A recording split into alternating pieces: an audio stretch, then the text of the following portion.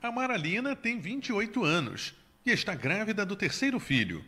O marido dela está desempregado. Embora tenha direito a programas sociais, ela foi uma das beneficiadas com o cartão maternidade. As mulheres que engravidam, né, que são gestantes, elas não têm assim um benefício próprio, né, para aquela gestante. E esse benefício veio como um, uma benção do céu para gente, né? O programa oferece um cartão no valor de 850 reais, que serão creditados em sete vezes.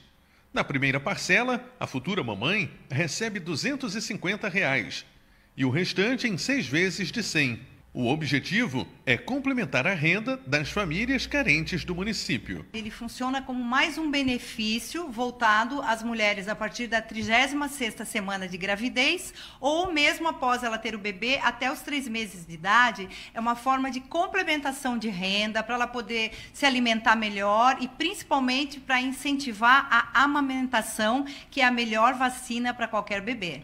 O cartão maternidade foi lançado neste mês, em alusão às comemorações do Dia Internacional da Mulher. Ele serve como um complemento para pessoas que recebem o BC Social, um outro benefício para pessoas de baixa renda. Para ter direito ao benefício, as gestantes podem procurar a assistência social da cidade. São orientadas já já fazer o cadastro único, que é feito imediato quando elas chegam, e aí elas já recebem, após a avaliação social, o BC social e também o cartão maternidade. A futura mamãe sabe que toda ajuda é bem-vinda, ainda mais na reta final da gravidez com 38 semanas, ela se prepara para a chegada do pequeno Levi.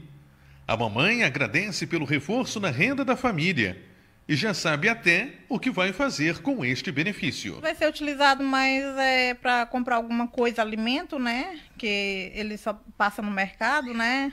E para comprar fralda para o neném, que até então eu não tenho, né?